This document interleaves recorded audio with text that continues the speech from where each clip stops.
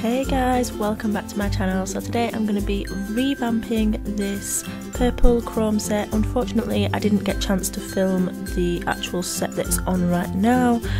Um, but yeah, it's basically just chrome with, well, pink purple from Madam Glam with the silver chrome over the top. It looks absolutely stunning. Um, so this is after three weeks, I think, possibly four. Um, my client, as you can see, has bitten around the cuticles and also ripped one off, which is not okay.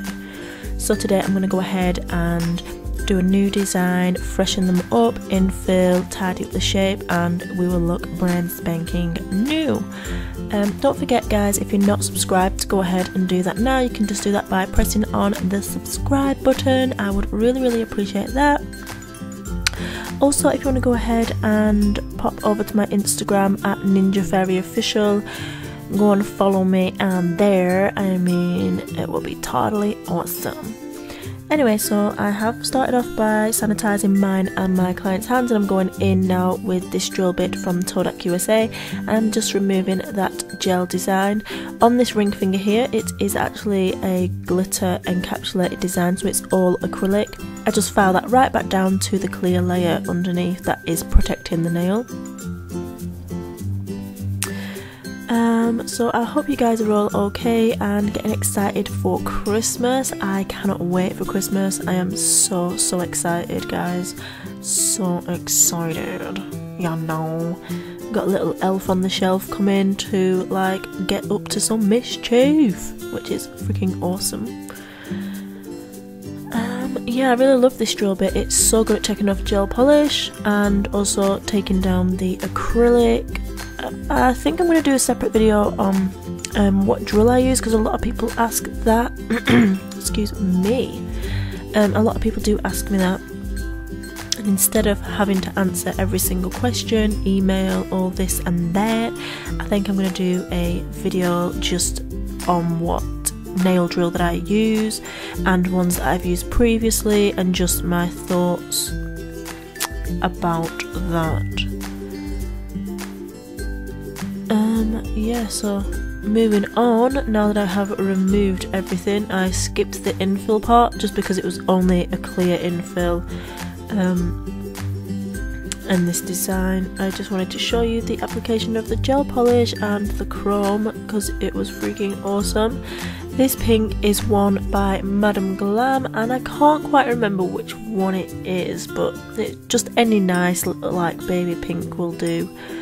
Um, so I'm just, I've already applied one coat and cured and now I'm going in with the second coat and I'm making sure that we have covered everything nicely.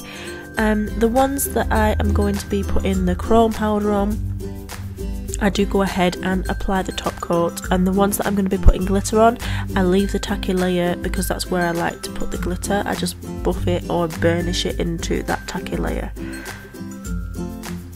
Now sometimes with the Madam Glam gel polishes they don't leave like a sticky residue so I find that if that is the case, not all of them do it but just some of them, you just go ahead and apply some base coat over the top and then cure that for 30 seconds and voila you have got your sticky sticky base. Just a little tip there if you were struggling at all. And now whilst I'm filming this video, if you've watched my previous ones, you will know that I burnt my face. Um, my face is like pretty much almost back to normal. I probably will be able to wear makeup tomorrow, which is going to be freaking awesome. I have so much stuff to buy. To buy? I mean, I have so much stuff to try that I got from the Freedom Awards and just new products and stuff that I really want to dig into, so it's about freaking time.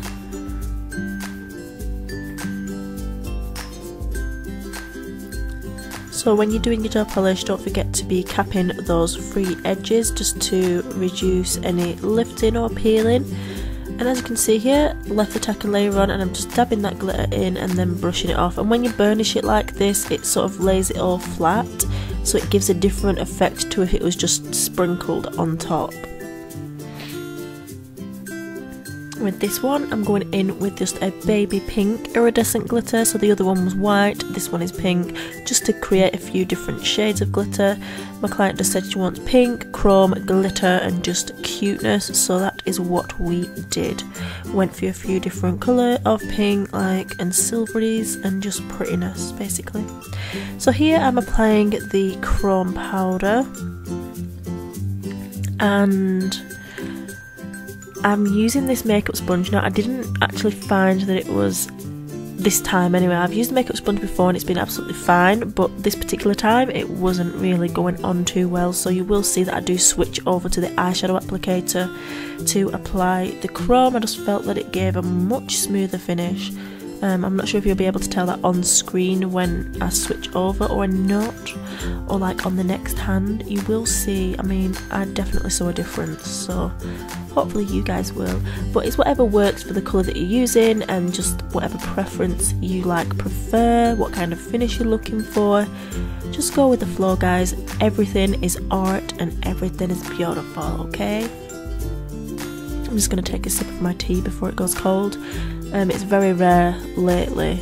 Well, not lately, just since you have children, it's very rare, very rare that you actually get a nice hot cup of tea. So, if you guys haven't got kids yet, please treasure those hot cup of teas because they're gonna be gone, okay? And I actually love tea. I'm literally addicted to it. So, it is a very sad, sad story. Anyway, see, as you can see here, it's going on so much smoother. Like, literally like butter. And a lot of people on my Instagram, well, not a lot of people, you always get one like snotty person being an arsehole, commenting on cuticles and ugh, needs a manicure. And I'm just like, seriously, shut the front door, man. I mean, in some countries, you're not allowed to cut the skin around the cuticle. In the UK, I'm pretty sure you can do whatever you want, but for my personal choice, I do not want to cut anything off anybody. Do you know what I mean? Like, seriously, I'm not doing it. If somebody comes to me and asks me, I'll just say I don't do that, unfortunately, and they either stay or go. I'm not bothered. I'm just not doing it. So, they can stick the snidey comments up their asses, okay? Um, I won't be cutting any cuticles or any skin or anything anytime soon. Um, especially when like oh I'm just doing the top coat guys just top coating and on the glitter ones I have a separate one for the glitter and then for the chrome ones I use that chrome top coat from you know what I'll leave my chrome nail video down below and you'll be able to go and see. Oh in fact I didn't put it in that one. I'll just leave it down below so you can see which chrome top coat I use. I do find that it's a lot better. The chrome doesn't chip at all really I don't think with this chrome top coat. Anyway um, yeah I was just saying about the cutting the cuticles. Someone actually got was it either AIDS or HIV from cutting the cut like shared unclean stuff mean, I suppose that's unclean. I mean, I do clean everything, so, but still, I just don't have the balls to be cutting someone's finger. I really don't. Moving on. We are gonna obviously do some more chrome. So this is like completely starting with the eyeshadow applicator. Can you see how well that goes on compared to the sponge? Like, so much better obviously I'm going to have a lot of makeup videos coming up like with the freedom stuff and just generally I want to get more of myself like in front of the camera. I really enjoy being in front of the camera and speaking to you guys and just whatever. Um, so I'm just going to be having like a mix of different videos. I know I do have quite a big mix anyway but as soon as my face is better guys you better be ready. You better be ready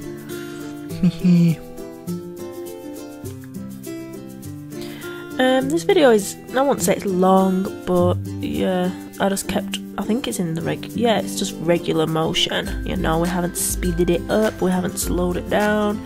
Uh, I'm gonna do that with probably all of my videos, I'll just probably skip through like removing the design because I'm sure you don't want to sit there for half an hour watching me file off a design, really.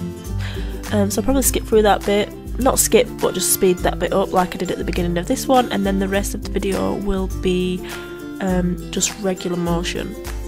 I will obviously crop bits out that are not necessary. So here I'm going in with that chrome top coat which is thebomb.com and just making sure that I apply a nice thick layer covering the whole entire nail and chrominess and that just cures I, I, I, think it might be 30 seconds but I do cure it for 60 just it on the safe side. And this is the final result guys so I hadn't put oil on there I don't think. I don't know. But yeah this is the final result. I couldn't really capture the chromeness as well as I have been on other colours I think maybe because it was so light the colour underneath. I don't know. I think it just varies with what colour you have underneath um, so it's definitely nice to experiment with different types of chrome colours and finishes and looks. And yeah, I really hope that you enjoyed this video. I hope I'm not like talking too much because dame, I just talked for like 10 minutes plus and that is like, yeah. Anyway, thanks for watching guys and I'll see you in my next one. Bye! Oh, don't forget to share this video as well if you enjoyed it. Thank you!